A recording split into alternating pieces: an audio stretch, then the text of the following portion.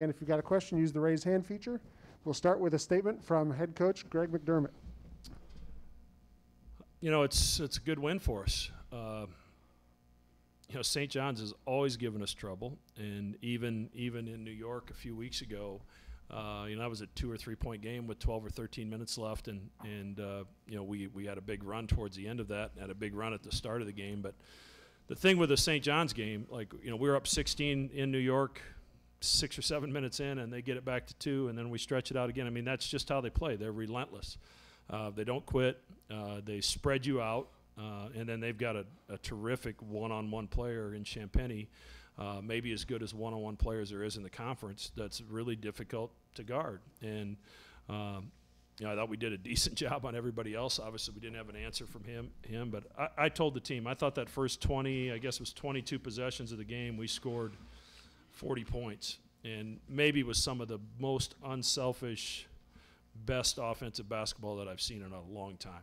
And that's that's encouraging to see, especially when with Marcus out, Shereef going into the starting lineup. It's like we didn't miss a beat. Uh, Reef did a great job running the team, uh, picking his spots to score, and then obviously doing a terrific job in the defensive end like he always does. All right, we'll do questions. Uh, we'll start off with Matt Foster. Matt, first off, just status of Marcus. Yeah, I mean he's uh, I, I, he's going to be fine. He, it's uh, you know he's got a hamstring issue that he's been dealing with, and and uh, we just didn't really want to push it, uh, especially with a week off uh, coming after this game. Uh, so we thought the rest was probably the, the right thing to do. But you know it's it's a it's this is athletics, and sometimes guys get hurt, and somebody's got to be ready to step up. Jett Canfield hadn't played hardly at all this year. Uh, he played 10 important minutes for us today. So uh, the next guy's got to be ready if somebody goes down, and, and certainly Shereef and, and Jett were today. Matt DeMarinis.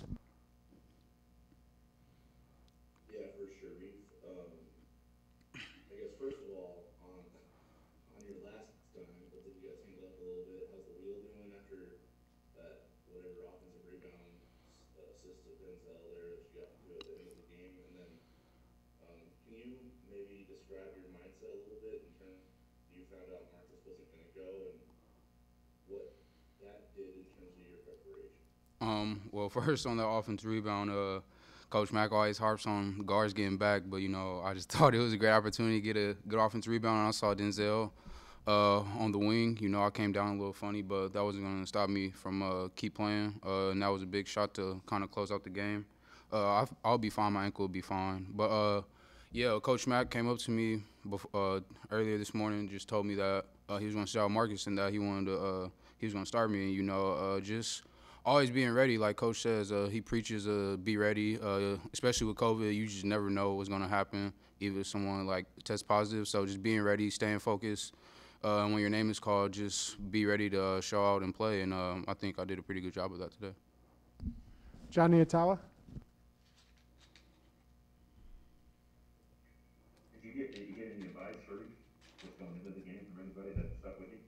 Um, uh, Marcus, of course, Marcus came up to me, uh, just told me be me, be confident, uh, run the show, and uh, just get everybody involved, and then just everyone, everyone from the starters, from Dame, Christian, Mitch, and Dens, they just came up to me, pretty much said the same thing. Uh, just stay ready, be confident, uh, just play my game, and just do what I do out there, and just don't think too much. And you know, I really needed that.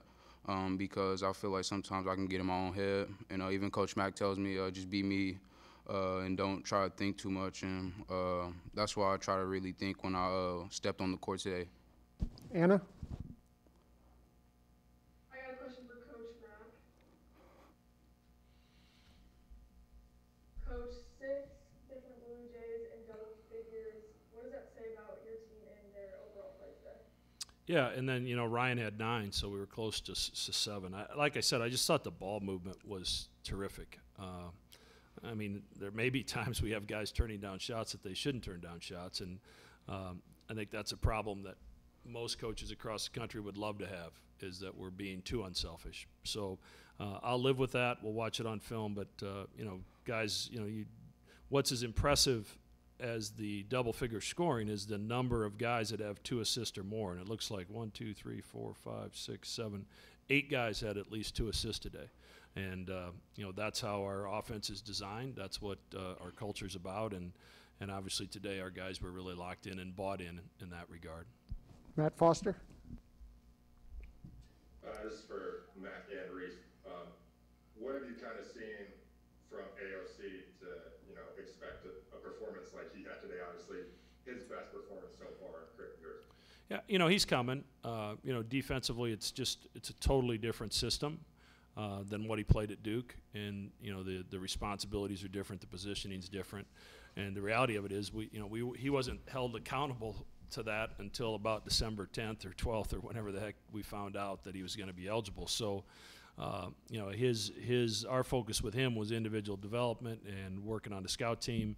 Um, so it's it's been a crash course uh, trying to get him trying to get him ready. Uh, but you, you saw today some of the athletic ability, uh, ability to shoot the basketball and stretch the floor uh, that he's going to bring to the table. But uh, and I think Reef, uh, you know, Reef can Reef can build on this if he'd like. But I think what's been interesting with Alex is just like how much fun he's having playing. Like he's taking this as like it's a freebie. Like this is awesome. I get to play with this team in this system with guys that share the ball and move the basketball. So um, I think he's really playing with a lot of joy, and I think when you do that, sooner or later, good things will happen.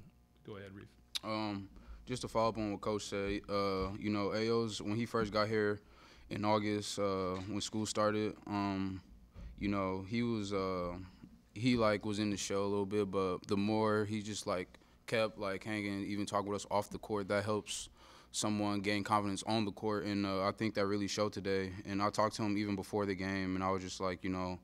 Uh, with Marcus being out, uh, Marcus obviously is a big part of our offense with scoring and giving out assists. So uh, I just told AO to just be ready, you know, uh, be confident today because this is a great opportunity. And uh, he took advantage, obviously, with 16 points. Uh, you know, like Coach said, he's came a long way.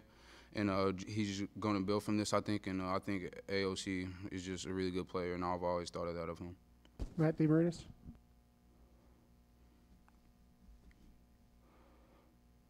And Mac, at the end of the game there, um, when St. John's was kind of still hanging around a little bit, both teams were getting a little bit tired. Um, did you design, uh, plays for Denzel to kind of break the ice a little bit, or did you just make reads? Uh, a couple of the free throw or the, the the things he got to the line was just within the flow of our offense, and obviously guys were hitting threes, so there were some driving lanes, and you know Den's pretty powerful when he gets downhill, and it's hard to guard him without following him. Uh, the one, uh, the little jumper at 17 feet uh, coming out of the timeout was a was a design play against their zone that the guys executed uh, incredibly well. Uh, so you know most of most of what we do is you know our guys just being basketball players. Got time for a couple more. We'll go to John first. Greg, I wanted to ask about Ryan Kalkbrenner's minutes this week. It, it's kind of been an uptick, and I wonder if that was more matchup or just he's playing really well. No, I mean it's uh, he, he's getting better and he's changing the game, especially on the defensive end of the floor. And uh, I think he's gaining confidence on offense. I think guys are gaining confidence in him, and it's it's just uh, you know I really like the changeup between he and Christian because they bring they bring some ways similar qualities with their ability to protect the rim. Um, but you know Christian's speed and quickness and ability to pass the basketball, and now you now Ryan you know, you got that seven footer back there, and and uh, you know you have to account for him at wherever he's at. So, you know, I thought both of those guys gave us really really good minutes today. But you know, there's no question you're seeing Ryan grow up in front of our eyes. He's getting better every single day. Matt Foster? This one's for Shereef. Uh, Shereef, just personally, how much more confident are you in your game, you know, to go out and now start your first Big East game? Um, I feel very confident in my game. Um, coach, me and coach have conversations a lot about uh, being confident and being me. Like I said earlier, um, coach really trusts me. Uh, all the coaching staff they really put that confidence in me as well as players. So uh, it's just me being comfortable out there, uh, just being me. Uh, finding the right shots, the open shots, and uh, even creating for my teammates. You know, uh, I think I do a really good uh, job job of that, and uh, I just want to. That's something I just want to do and see my guys score, and but also, you know, just sharing the sugar and I don't know, having team success rather than individual success. Final two questions. We'll start with Matt, then we'll go to John, Matt DeMarinis, then we'll go to John. Um, for Mac, I guess, I thi- I remember you mentioned in the offseason that Shereef, if not, if not Christian, him were either the top two guys for the most improved players in